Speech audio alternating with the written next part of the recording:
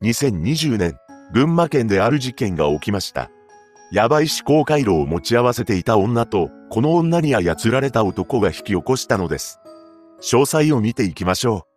う。後に、本件を起こすこととなる山本由衣子は、1989年11月23日に出生します。由衣子の母親は、娘のことを人に流されるタイプだなと思っていたそうです。また、由衣子は自分と馬が合う人間にはのめり込む体質の持ち主でした。そんな彼女は成人後、マッチングアプリを利用し、男性と出会っていたようです。そして、本件が起きる3ヶ月前に、一人の男性、A さんと知り合います。二人は、馬があったようで、やがて交際関係になりました。さらに、ゆい子が A さんの自宅に転がり込む形で、同棲をするようになったのです。この時、ゆい子は犬を2頭飼っていたのですが、犬たちも一緒に A さん宅にお世話になることになりました。彼女は毎朝、交際相手の A さんのためにコーヒーやプロテインを準備していたと言います。こうして彼氏ができたゆい子なのですが、マッチングアプリをやめることはなく、その後も別の男性と知り合っています。その中に、後に共犯者となる小舟治という男がいました。とはいえ、ゆい子と小舟は単なるゲーム友達に過ぎなかったそうです。その一方で、ゆい子と交際を開始した A さんは、ある症状に悩まされるようになっていきました。何でも、会社でメールをチェックしている時に、急に意識を失ってしまったそうなのです。この症状は何度か続いたため、上司と一緒に病院で見てもらうことになったのです。そこでは、天下の疑いがあると告げられたのですが、医師との面談をしている際にも、意識を失うことがあったと言います。もちろん、A さんは、過去にそのような症状が現れたことはありません。そこで、A さんは、ゆい子が準備してくれていたコーヒーやプロテインが原因ではないかと疑うようになります。なぜなら、ゆい子が準備してくれていた飲み物はいつもよりも苦い気がしていたからです。また、ゆい子が何かの処方薬をもらっているのも目にしていました。つまり、ゆい子が毎朝作ってくれていた飲み物に何かの薬物を混ぜているのではないかと思っていたのです。そうして A さんはゆい子に疑いの目を向けるようになったわけですが、さらに不可解な現象が起き始めます。なんと A さんの LINE アカウントに過去に死別した交際相手からメッセージが届くようになったというのです。それは、ゆい子と同棲を開始してからの出来事であり、死別した交際相手の名前のアカウントから次のようなメッセージが届きました。どこにいるの？最後に一度会いたい。思い出の場所で待っているよ。このようなメッセージが届いたかと思えば、プレゼントをクローゼットに入れてあるよ。などというメッセージも来たそうです。そして A さんはメッセージに書かれていたクローゼットの中を見ると、そこにはブレスレットが置かれていたと言います。こうした不可解な現象に加え、A さんのスマホには覚えのない発信履歴があったり、決済サービスの利用確認メッセージが何度も届くようになるのです。さらに、ある日、カード会社から電話がかかってきて、あるサービスで25万円ほどの利用がありますが、本人ですか？と確認されました。そんな高額なサービスを受けた覚えは A さんにはないのです。そこで彼は、ゆい子にスマホを見せてもらいました。すると、案の定、ゆい子が高額なサービスを利用していることが判明したのです。しかし、ゆい子自身は次のように弁解したと言います。誰かに遠隔操作されて悪用された。こんな語卓を並べるゆい子のことを信じられなくなった A さんは彼女との別れを決意したのです。もちろん、ゆい子は A さんと別れたくなかったため、復縁を迫ります。しかし、ゆい子と付き合い始めてから不気味な出来事ばかりが起きていた A さんの気持ちが変わることなどあるはずもなく、二人は別れることになったのです。こうして A さんのクレジットカードを不正利用したと疑われたゆい子は同棲する時に連れてきていた犬たちと共に追い出されてしまいました。そこでゆい子は、とりあえず犬を預ける場所として、以前、マッチングアプリで知り合っていたゲーム仲間の小舟を頼っています。ただ、ゆい子は自分に別れを告げた A さんに対して、深い恨みの感情を持ち始めたのです。そして、とんでもない計画を立てました。驚くべきことに、A さんに殺人犯の濡れ衣を着せよう、などと思い始めたそうなのです。こうしてヤバすぎる思考回路の持ち主だったユイコは具体的に計画を詰めていきました。その計画というのが、まず SNS を利用して自ら命を絶ちたいと望んでいる人を募集します。そして応募してきたものを手にかけて運転免許証などを奪うのです。次に奪った免許証を元交際相手の A さん宅に置き、さらには彼の家に放火までするというものでした。とはいえ、ここでユイコは自らの手で全ての犯行を実行する気はなく、なんと他人に実行させようと考えたのです。そこで、ユイコが利用しようと思った人間が共犯者となる小舟でした。当時、小舟は離婚したばかりだったようで、ユイコに女性を紹介してほしいと頼んでいたと言います。そして、ユイコは小舟に友達のみのりという女性のアカウントを紹介しました。ところがどっこい、このみのりという女性のアカウントは、ゆい子が作成した架空のアカウントだったのです。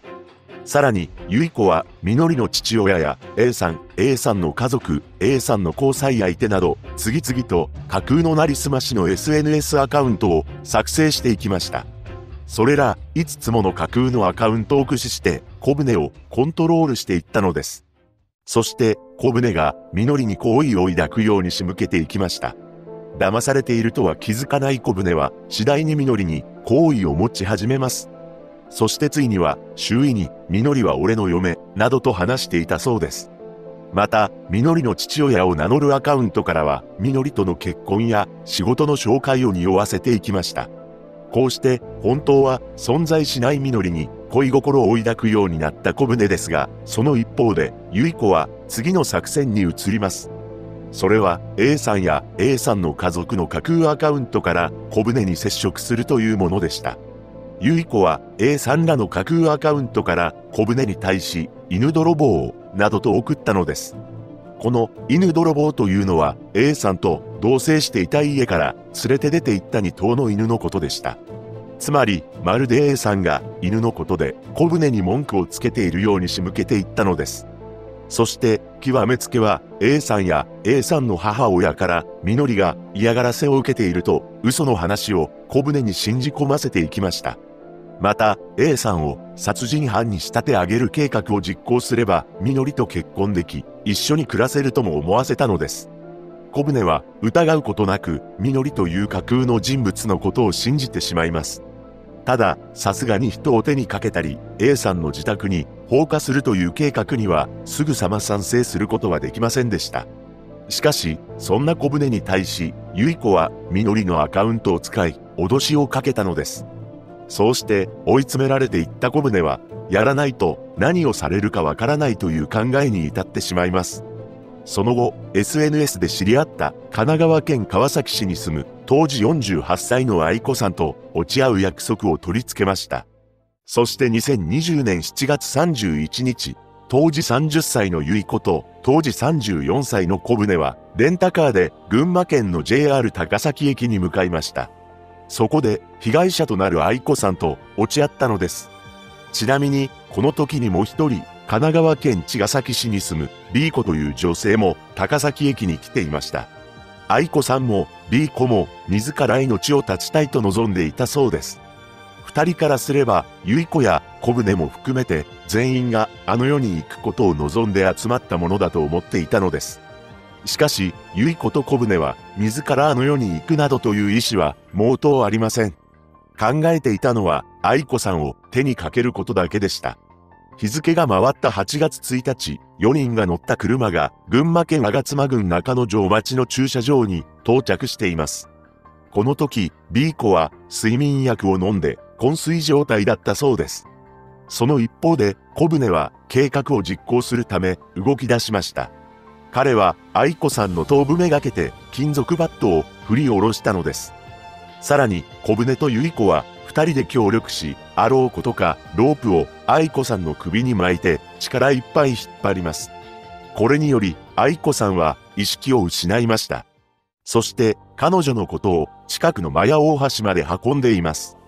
この橋は下の川まで約32メートルあったそうです。ここからゆい子と小舟はとんでもない行動に移ります。信じられないことに生きたままの愛子さんを橋から投げ落としたのです。その後、車内に残っていた愛子さんのキャッシュカード2枚や免許証を奪っています。それから逃走するのですが、B 子も一緒に行動を共にすることになりました。そして翌日の8月2日、茨城県つくば市にあったゆい子の元彼である A さんの自宅に向かいます。時刻は深夜2時に10分頃となっていました。A さんの自宅に着いたゆい子は別れた時に持ち出していた合鍵を使って家の中に入り手にかけた愛子さんの免許証を置こうと試みています。しかし A さんはすでに自宅の鍵を変えており、ゆい子が家の中に侵入することはできなかったのです。ただ、彼の家を放火しようという計画は実行しようと思い、ガソリンを撒いてライターで火をつけました。しかし、火は燃え広がることはなく、これも未遂に終わってしまったのです。その一方で、事件から4日後の8月5日、釣り人が変わり果てた姿となった愛子さんを橋から約30メートル下流で発見しています。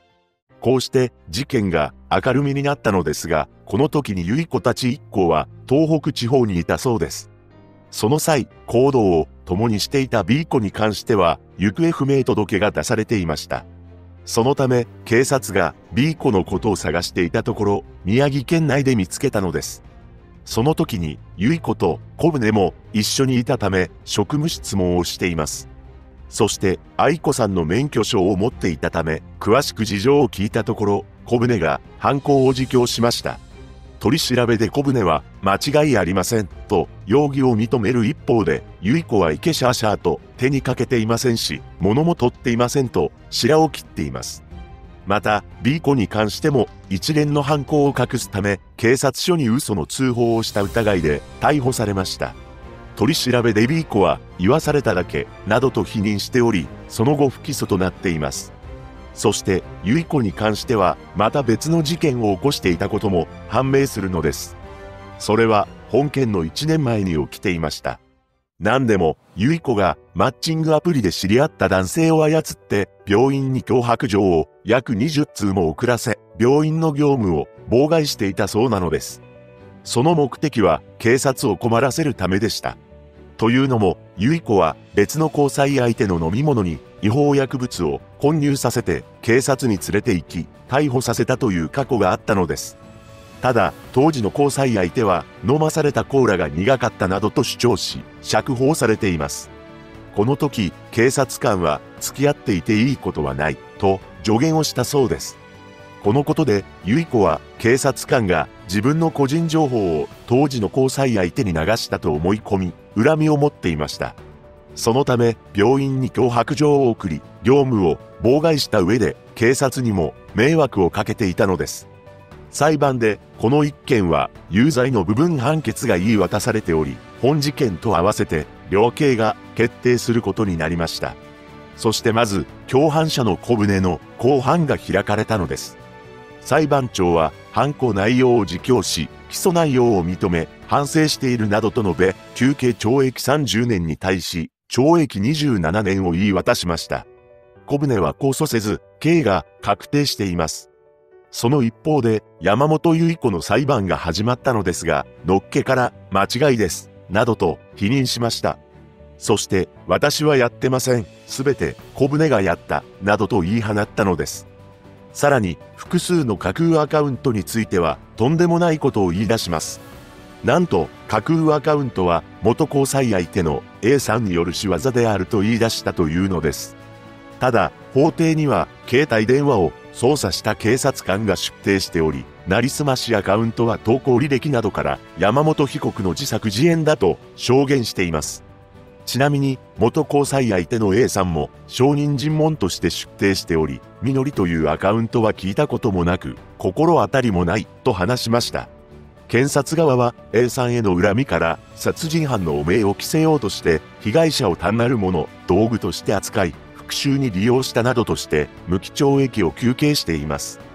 弁護側は、ゆい子には動機がない。小舟に指示したのは、ゆい子のアカウントを乗っ取った第三者である。小舟だけで実行され、共謀もなかった、関与しておらず、無罪と主張しました。法廷には、共犯者の小舟も出廷し、次のように述べています。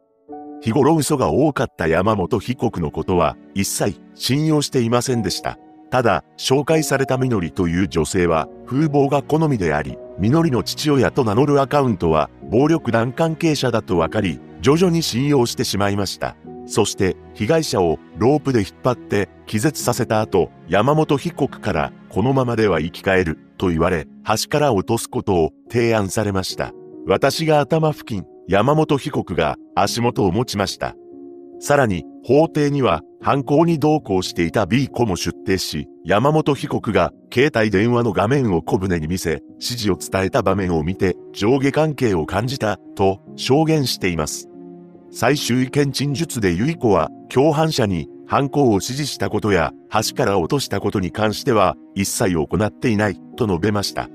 判決公判で裁判長は山本被告は事件を主導しており、共謀も成立する。犯行は残虐で必要なもので非常に悪質だ。身勝手な考えによって全く無関係な被害者の生命を犠牲にすることなど到底許されず、刑事責任は重大で、酌量の余地は皆無と述べ、無期懲役を言い渡したのです。この判決を不服とした山本由依子はちゃっかり控訴しています。控訴は2023年11月29日付で行われているため、今後の裁判の行方にも注目です。高さ32メートルの橋から初対面の女性を突き落とした本事件。共犯者の小舟でさえ、ゆい子のことを恐ろしいです。被告人には重い処罰をとつぶやいていたそうです。被害者のご冥福をお祈りします。